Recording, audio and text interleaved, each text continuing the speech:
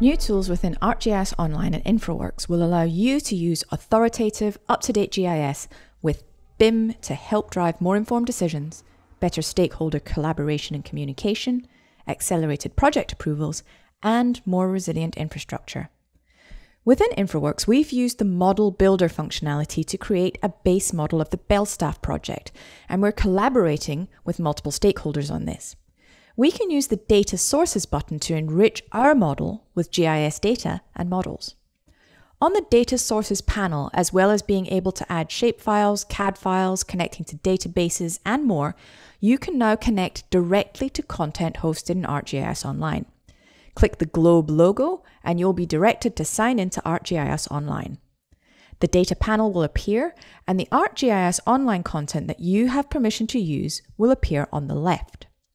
The dark square here on the map denotes the spatial extents of the model, but you can click and drag a new square to denote your area of interest.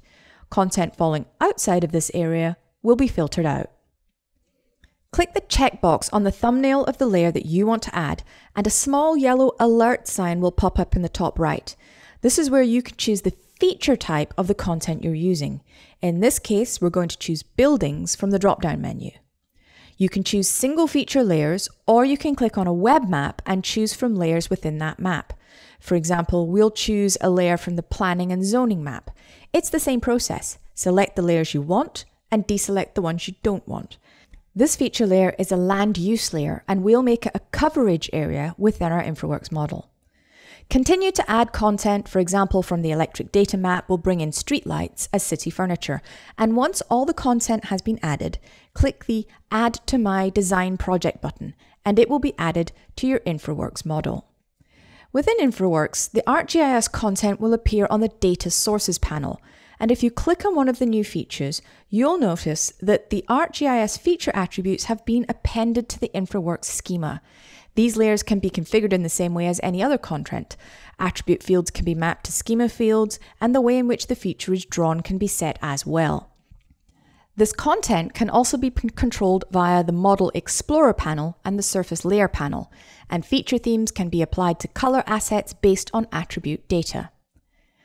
Content can be symbolized using 3D models, either from InfraWorks Style database or specialized imported models created by your organization. Now that we've created a base model and enriched it with up to date GIS data, we can continue to add content for our project. The Belstaff development is conducting an audit on hydrants around the project area, since some may need to be moved and replaced as part of the building project.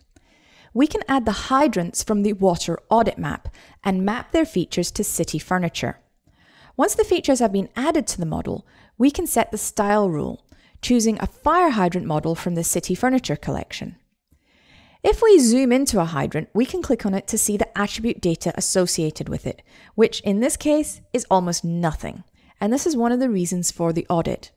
In the next video in the series, we can create a new feature layer within ArcGIS Online and populate it with some data shared to one of our collaboration groups.